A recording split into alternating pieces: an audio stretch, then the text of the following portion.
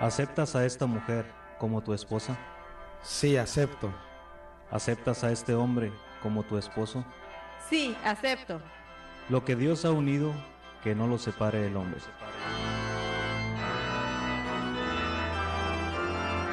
Para toda la vida, el matrimonio es un llamado divino. Acompáñanos en la siguiente hora en este programa, donde a través de experiencias encontraremos el rostro de Cristo en nuestra pareja. Para toda la vida. ¡Empezamos!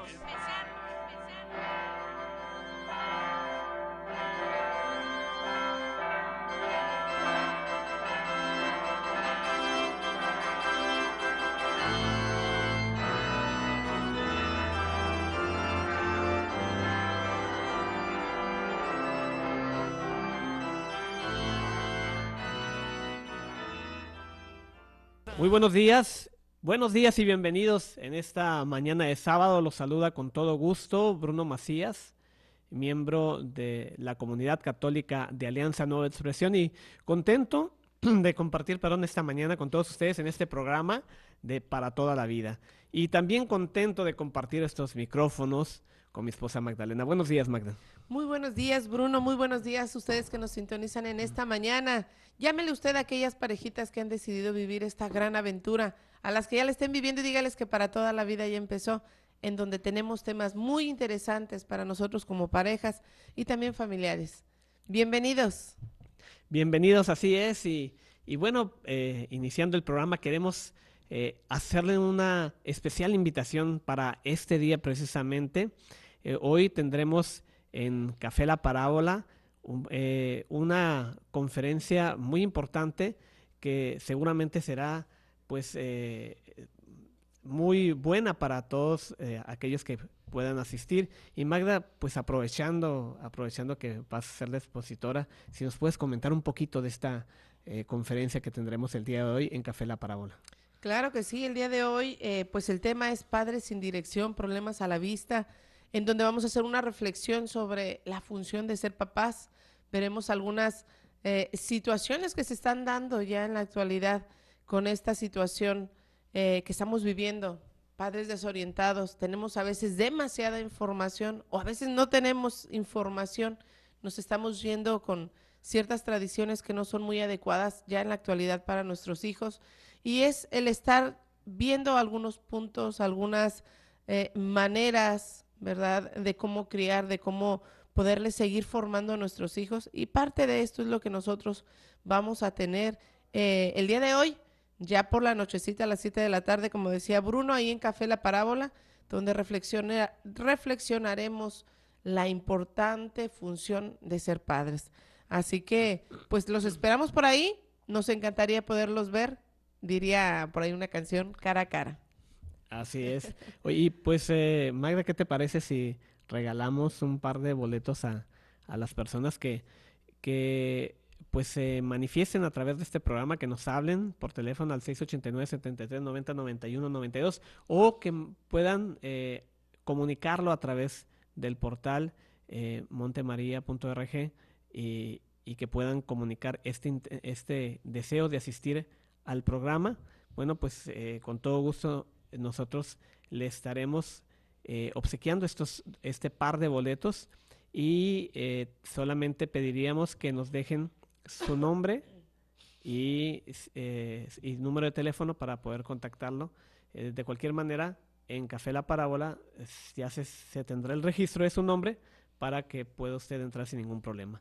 Pues bueno, Magda, pues esperamos que este día podamos tener la presencia de todos ustedes que nos escuchan y que puedan pues tomar esta información muy buena para la vida para la educación de nuestros hijos. Muy bien, bueno, vamos a, entrar entonces un poquito en materia. Vamos a irnos a la reflexión del Evangelio.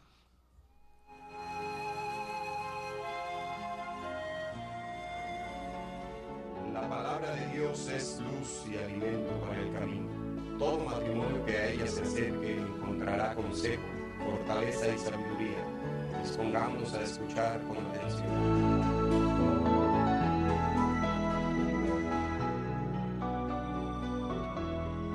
Del Santo Evangelio según San Juan. Al anochecer del día de la resurrección, estando cerrando las puertas de la casa donde se hallaban los discípulos, por miedo a los judíos, se presentó Jesús en medio de ellos y les dijo, La paz con ustedes. Dicho esto, les mostró las manos y el costado. Cuando los discípulos vieron al Señor, se llenaron de alegría. De nuevo les dijo Jesús, La paz con ustedes. Como el Padre me ha enviado, así también los envío yo. Después de decir esto, sopló sobre ellos y les dijo, reciban el Espíritu Santo. A los que les perdonen los pecados, les quedarán perdonados, y a los que no se los perdonen, les quedarán sin perdonar. Tomás, uno de los doce, a quien llamaban el gemelo, no estaba con ellos cuando vino Jesús, y los otros discípulos le decían, hemos visto al Señor. Pero él les contestó, si no veo en sus manos la señal de los clavos, y si no meto mi dedo en los agujeros de los clavos, y no meto mi mano en su costado, no creeré.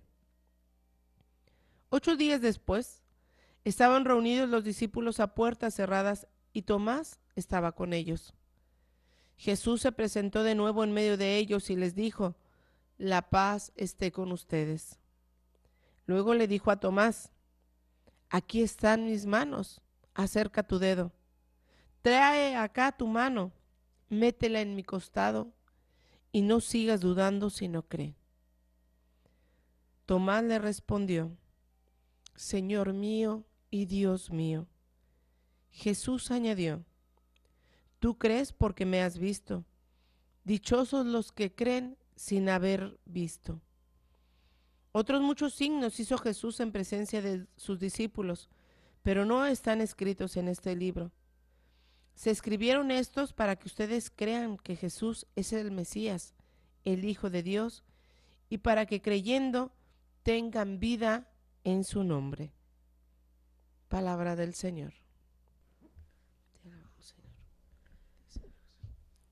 Muy bien, bueno, hemos escuchado esta eh, lectura del Evangelio que estaremos eh, escuchando el día de mañana y que de ella tratamos de sacar este mensaje eh, de una manera especial para todos los matrimonios, para todas las parejas que, que viven día a día en, este, pues, en esta dificultad constante, en este reto, y que las palabras, la palabra de Dios, cuando llega al corazón, de la pareja, pues eh, llega con la intención de dar frutos y de dar frutos abundantes. Y bueno, hoy eh, estamos, la semana pasada, eh, celebramos la resurrección de nuestro Señor Jesucristo. Y hablábamos en el programa anterior cómo es, es bueno para la pareja el, vivir esta pasión y el poder, a través de la resurrección de Cristo, ver también restaurado nuestro matrimonio, ver cómo Jesús resucita y cómo esta resurrección de Cristo influye en, nuestro matrimonio. Hoy, eh, ocho días después, eh, vemos esta lectura en la cual nos habla de cómo están los discípulos reunidos después de este evento, después de esta situación. Eh, están, pues a lo mejor, con el temor, de haber perdido a su maestro, pero se aparece Jesús en medio de ellos diciéndoles la paz esté con ustedes, con este signo de la paz. Y quienes estuvieron ahí, pues imagino yo esta fortaleza que tuvo el escuchar las palabras de su maestro en ese momento y lo que significó para ellos, en el corazón de cada uno de ellos, la presencia de Él ahí, junto a ellos. Y, y cómo ellos pues sintieron esa alegría y sobre todo eh, el, haber recibido las palabras de su maestro, el, este envío que les daba en ese momento. Pero quiero centrarme en esta parte, en la y, y, que bueno, en muchas eh, homilías he escuchado esta parte en la cual nos hablan sobre esta actitud de Tomás cuando los discípulos, eh, Tomás pues nos eh, menciona el Evangelio que no estuvo ahí presente en ese momento que, Jesús llegó, pero los discípulos eh, le comentaron, oye, Jesús se presentó, Jesús estuvo con nosotros, nuestro maestro, el que, el que estuvo con nosotros, el que, el que nos, nos enseñó, el, el, aquel que hizo milagros, estuvo con nosotros. Y Tomás eh, en ese momento, pues él lo creía algo, algo lejano, algo imposible, como que si Jesús murió, si nuestro maestro murió, si nosotros sentimos ese, ese pesar, ese dolor por la muerte de nuestro maestro, eh, ¿cómo es posible que, que, esté ahí? a lo mejor se equivocaron, ¿no? Eh, imaginen ustedes esta, eh, esto que, que, pensó Tomás, pero dice la palabra de Dios, que vuelve a presentarse Jesús.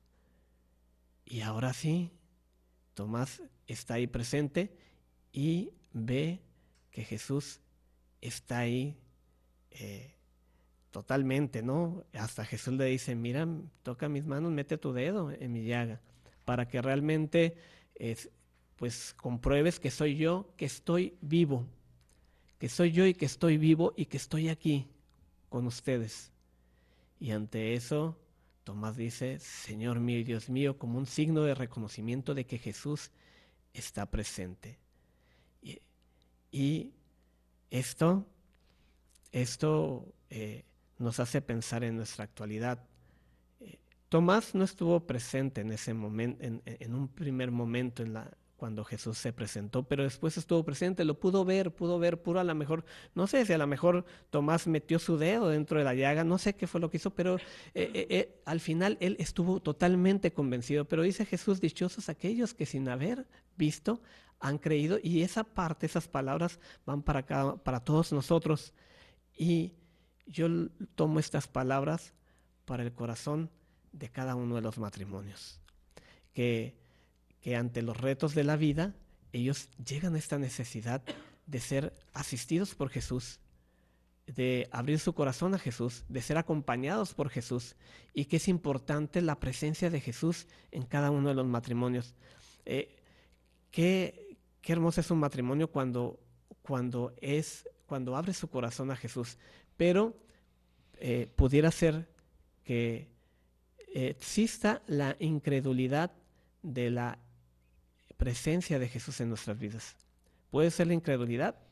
Imaginemos entonces cómo es la vida de, una persona cuando es cuando se sabe acompañado por Jesús, cuando sabe que Jesús está ahí presente, cuando independientemente de los de las situaciones difíciles, de las dificultades económicas, de, de a lo mejor los rechazos que pudiera tener, sabe que está acompañado por Jesús, que Jesús está ahí con él, que Jesús ha resucitado y esa resurrección restaura nuestra vida, nos hace ver las cosas de manera diferente, nos hace pensar y actuar de manera diferentes. Y esto es una invitación a, eh, a, a uno mismo, pero también a poderlo compartir dentro de la vida de pareja, dentro de la vida de matrimonio. El que la pareja sea avivada por la presencia de Jesús, de tal manera que seamos nosotros dichosos, dichosos, bienaventurados, porque hemos creído que Jesús está con nosotros y cuando Jesús está con nosotros cambia la vida de la pareja. Así es, Bruno, y es tan importante el que nosotros podamos sentir esto. Y pues este domingo está eh, mencionado por la iglesia como el Domingo de la Misericordia el domingo en el cual, si nosotros recordamos un poquito la historia del Señor de la Misericordia, ¿verdad? Eh, es el tener confianza, es el tener, el decir, confío, ah, como para reafirmar estas, estas palabras mm, de Jesús a través de, de Tomás que dice, Señor mío y Dios mío. Felices pues nosotros que creemos, ¿verdad? En lo que no hemos visto, pero que muchas veces ya lo hemos sentido. Así que, pues bueno, por el momento nos vamos a ir a un corte musical y regresamos. Recuerde, estamos en Para Toda la Vida. Dios es amor y, te, ama.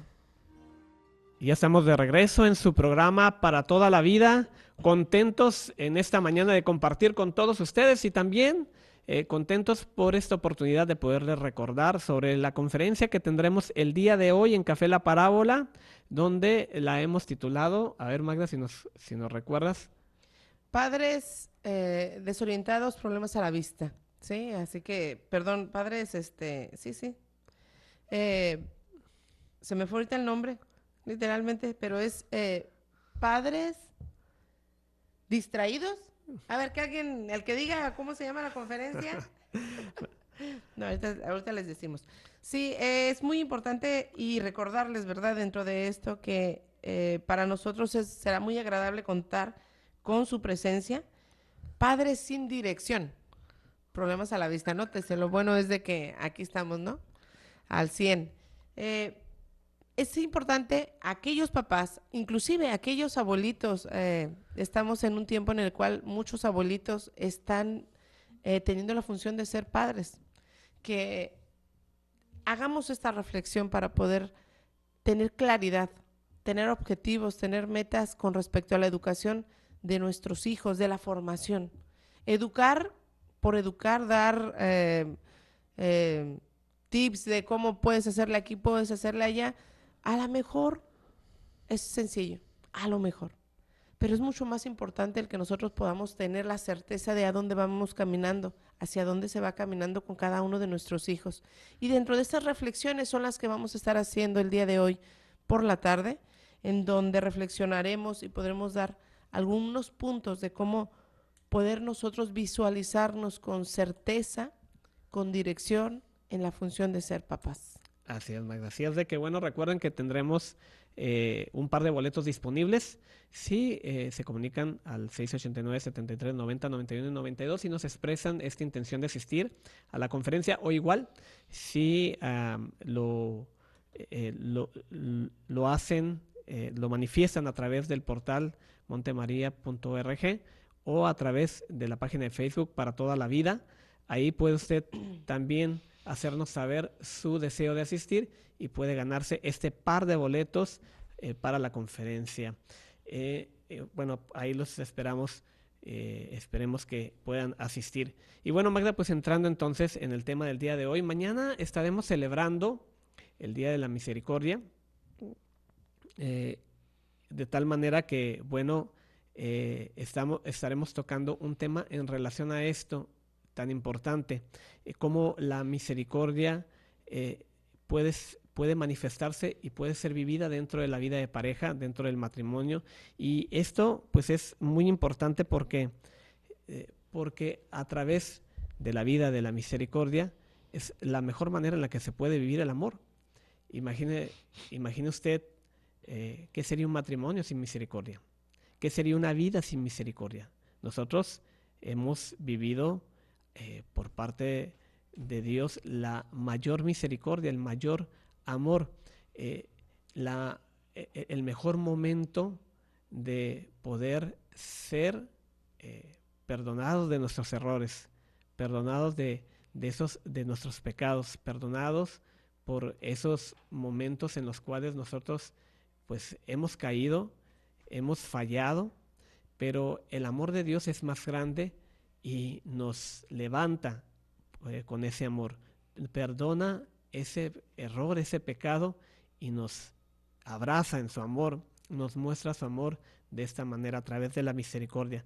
Pero dentro del matrimonio, a veces esto no es igual, no se vive la misericordia, no se vive esta aceptación de la persona, esta aceptación de la pareja y a veces también no sabemos cómo hacerlo. Bueno, el día de hoy vamos a estar hablando sobre esto, sobre esta experiencia de la misericordia dentro de la vida de pareja, Magda.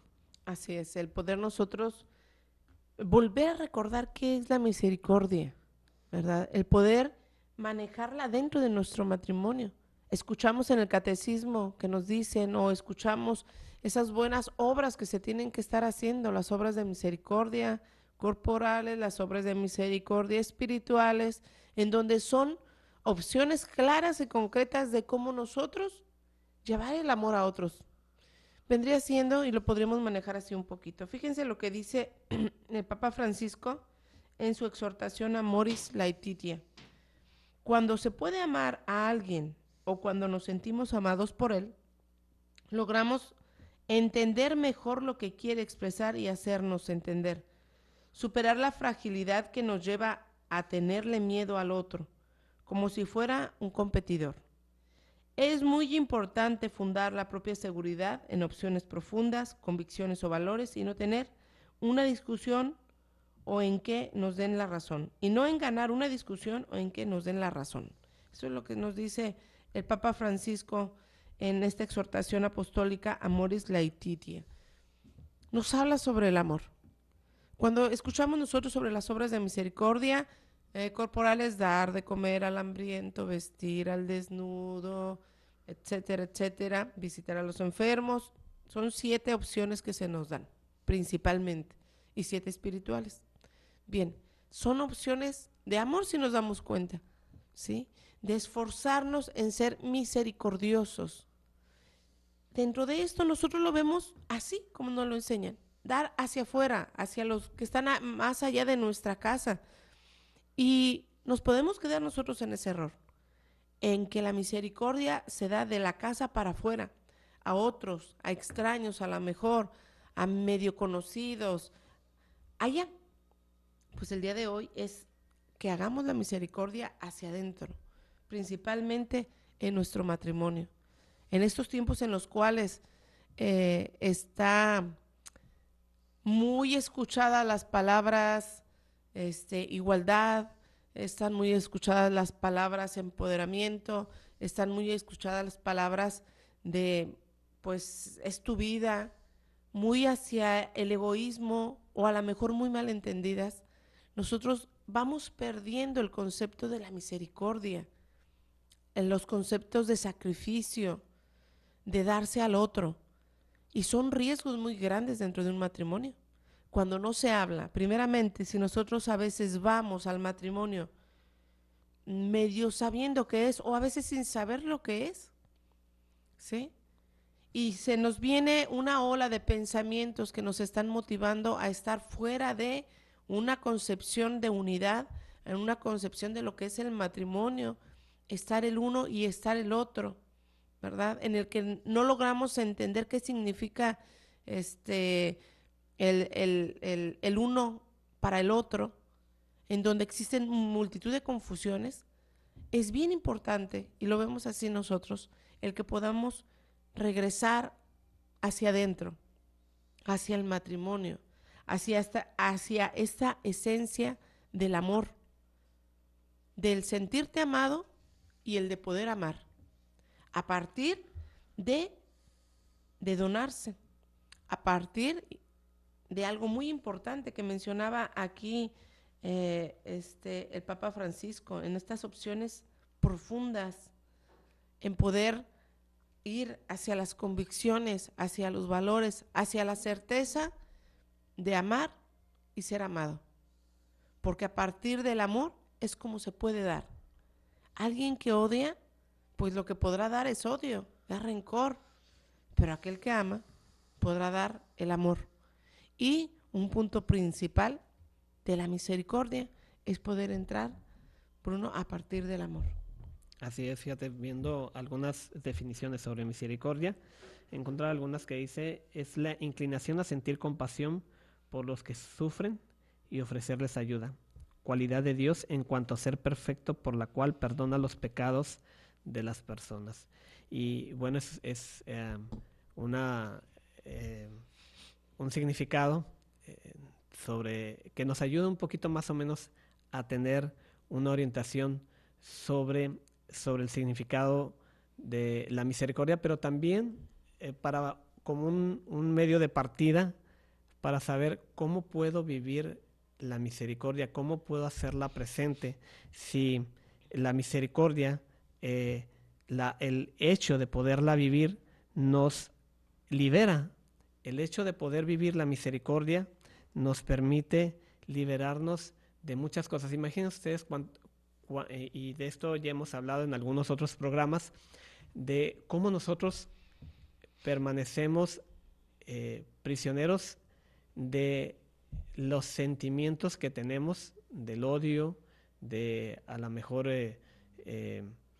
de sentimientos negativos hacia, hacia una persona y los mantenemos y dejamos que ahí eh, pues echen raíces, eh, crezcan, eh, de tal manera que esto nos hace eh, pues actuar de una manera negativa hacia ciertas personas, nos hace ver o pensar de, una manera negativa hacia ciertas personas y esto en nuestro actuar diario pues nos va, nos va limitando, va limitando nuestra felicidad, va limitando nuestra alegría o va eliminando nuestra alegría. Pero la misericordia es un camino que nos permite liberarnos de esa opresión, liberarnos de esa esclavitud y abrirnos al amor y poder experimentarlo totalmente, totalmente el amor. Ahora imagínense ustedes lo importante que es la misericordia dentro de la vida de pareja, dentro de mi relación con mi esposa, con mi esposo. Qué importante es la misericordia, qué importante es el manifestar el amor a partir de que me compadezco de ella. A lo mejor eh, hay situaciones en las cuales eh, hay momentos donde hay discusión en un matrimonio, digo, eh, no creo yo que en un matrimonio no haya, no haya discusión, inclusive, aunque si vemos algún matrimonio en el que no hay discusión, pudiera ser a lo mejor que hay, que hay poca, poco interés uno en el otro, que cada quien está llevando su vida de manera paralela y que no hay una relación entre ellos. Y eso es también importante ver, de que eh, eh, lejos de ser una pareja unida, son vidas totalmente diferentes y cada quien está en su mundo, de tal manera que no hay una relación. Pero hablando de las parejas que tienen esta relación constante, eh, siempre va a haber un momento de discusión. Son maneras pues, tenemos en la pareja hay formas de ver diferente la vida, eh, formas de actuar diferente. Y en estas diferencias a veces, en este no, no concordar, eh, pues también hay, hay esta discusión. O inclusive también en nuestra forma de actuar hay cosas que a lo mejor no les parece al otro. O hay momentos en los cuales le fallamos. podemos fallarle a nuestra pareja. En las, a lo mejor nuestra pareja espera algo de nosotros y eso que espera no se llegó, no, no se realizó y fallamos en esto que esperaba. A lo mejor nuestra pareja esperaba, no sé, eh, eh, esperaba eh, una acción buena por parte nuestra, el que pudiéramos realizar alguna, algo, algún pedido, el que a lo mejor esperaba fidelidad por parte nuestra, a lo mejor esperaba la mejor atención, en fin, hay muchas cosas en las cuales dentro de la pareja se espera. Pero cuando no existe esto que esperábamos, no llega esto, esto que esperábamos, esto que pensábamos que podría llegar, entonces es ver qué es lo que está, qué es lo que pasa, es tener esa compasión por aquel que no logró llegar a esto, que no, que no logró realizar lo que nosotros esperábamos o que falló en esto que no esperábamos que realizara y es, es, es entonces sentir la compasión por, por la pareja. Sentir esta, eh, eh, hay alguna situación por la cual no, no la realizó. Y poder perdonar, aunque poder, eh, aunque es necesario a poder hablar del tema, poder hablar de la situación, de tal manera que pueda a través de la comunicación sanarse cosas, pero también sobre todo a través del perdón y de la misericordia dentro de la pareja, de tal manera que nos permita poder vivir plenamente el amor, Magda. Así es, en la plenitud, que es la misericordia. El que nosotros podamos decidir qué tipo de matrimonio queremos. En un mundo de crisis, en todos los ámbitos, el matrimonio no se queda atrás, ¿verdad? Claro, entrando desde la crisis del noviazgo, en donde no se sabe a dónde vamos. Es muy importante ver esto. El que podamos nosotros a partir de preguntarnos qué queremos, ¿verdad? ¿Qué convicción tenemos con respecto al matrimonio? Poder manejar la misericordia. Decimos nosotros, sí, el perdón, y, pero cuando mencionamos la palabra misericordia como que es, va más allá de un te perdono. Es una, una, una visión personal, ¿no? El poder decir, de mi orgullo, yo paso a la humildad y perdono o pido perdón. Y en ese momento el matrimonio se empieza a fortalecer.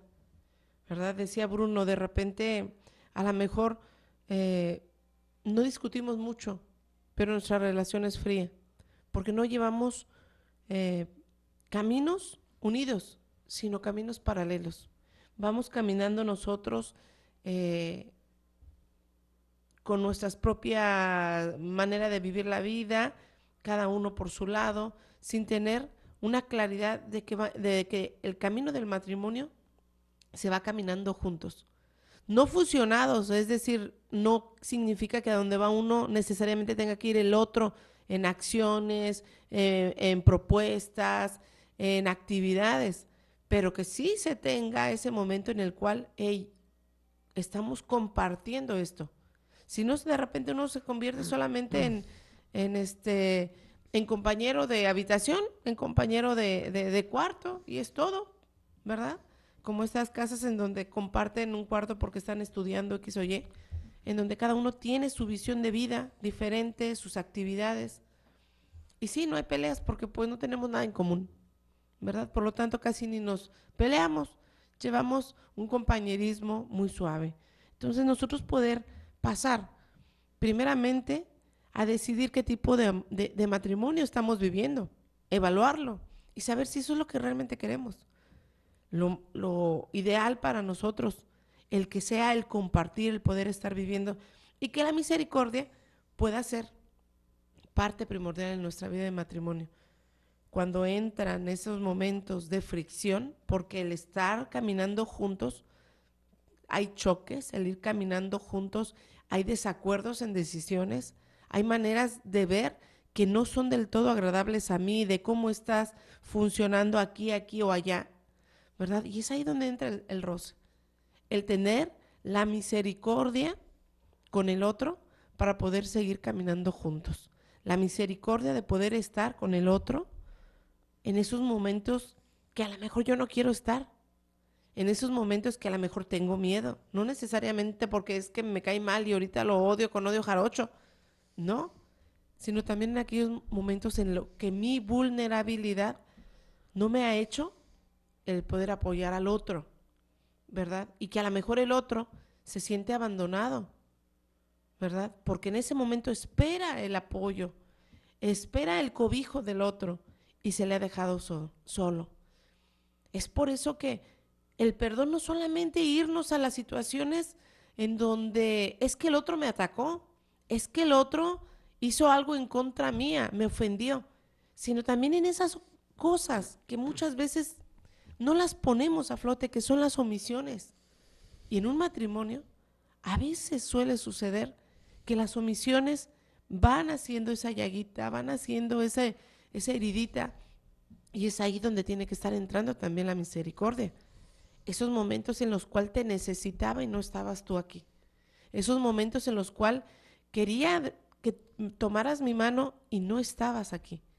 Esos momentos en los cuales el otro se siente en ausencia, se siente estar caminando solo en el matrimonio. Es ahí donde tiene que entrar la misericordia, a partir de tener esta opción de decir, quiero estar. Fíjate, Magda, que yo creo que, que a veces es muy difícil vivir la misericordia o de poder eh, ser misericordiosos o de aplicar la misericordia dentro de la pareja cuando a veces en lo personal no se ha vivido la misericordia. Eh, y, es importante poder vivir cuando a lo mejor no hemos aprovechado los medios de misericordia que nos da Dios. Cuando yo en lo personal no me abro la misericordia de Dios. Y si no me abro la misericordia de Dios, entonces eh, tengo, permanece mi corazón cerrado a esta oportunidad que Dios me da hacia este bien que Dios me da. Y, esto no me permite poder tampoco vivir y experimentar la misericordia y como fruto de la misericordia el amor dentro de la relación de pareja. De tal manera que es, que es pues muy importante poder decir, bueno, ¿y yo cómo estoy viviendo la misericordia por parte de realmente eh, eh, estoy viviendo este perdón de Dios, este amor por parte de Dios y, de ahí entonces que tendríamos que reflexionar en esto y tendríamos que pensar en estos lugares de encuentro con la misericordia de los cuales nos ha hablado la iglesia, de los cuales hemos conocido a través de, de, pues de la enseñanza de la misma iglesia, que son, pues es eh, la palabra de Dios. es la Eucaristía como, como eh, un sacramento de misericordia, como es eh, la reconciliación, la confesión, como un medio también de sentir y vivir esta misericordia por parte de Dios, de vivir, de vivir la, celebración eucarística a través de la liturgia, donde vivimos también y, y es un, celebramos y vemos un momento de gran misericordia a través de esta celebración. De tal manera, y, bueno, y también importante, la oración personal, importantísima para poder vivir, y son encuentros, lugares de encuentro con la misericordia por parte de Dios. Y si nosotros logramos vivir estos, a través de estos medios, la misericordia de Dios, entonces para nosotros, pues se nos abre más fácilmente eh, el, poder expresar y experimentar la misericordia dentro de nuestra pareja, porque nosotros eh, vivimos totalmente esa libertad en Dios, ese amor en Dios, y ahora sí, eh, sabiéndonos perdonados, sabiéndonos amados por parte de Dios, experimentando ese amor de Dios, entonces tenemos toda la base y toda la, fortaleza para poder nosotros también ser misericordiosos, ser una extensión del amor de Dios dentro de nuestras vidas de pareja, Magda. Así es, el que podamos nosotros tener siempre presente que la misericordia tiene que estar en nuestro matrimonio. No podemos vivir nosotros alejados de la misericordia. Necesitamos empezar a desterrar pensamientos de orgullo, de rencor, de querer tener siempre la razón, que es una situación que como matrimonios eh, es muy fácil caer en es que yo tengo la razón. Es esa lucha de poderes que de repente se dice, estamos luchando a ver quién es el que realmente está teniendo esa fuerza y es que las cosas son así y nos cerramos, inclusive a decir, pues sí, yo había pensado que esto y creo yo que esto está bien, pero tú, este punto que dijiste, pues puede ser que quepa dentro de lo que estoy pensando. Esa es una situación muy común y que son esos pequeños roces y roces y roces porque queremos seguir teniendo la razón, porque nosotros no queremos ser, de cierta manera, a lo mejor se mira así, como los que pierden. Y dentro de un matrimonio no hay una lucha de poderes. Dentro de un matrimonio es juntos, ¿verdad? Tomarnos de las manos y es como si quisiéramos volar y cada uno tuviera un ala. Pues a ver si vuelas tú solo. No, pues a ver si tú. Pues si yo lo intento, yo lo intento y pues cada golpazo que uno se puede dar. Pero cuando se dan cuenta de que unidos entonces sí pueden volar, entonces dejo solamente mis juicios, mis ideas a un lado y nos unimos y entonces podemos seguir caminando en un matrimonio listo y dispuesto a abrirse a la misericordia.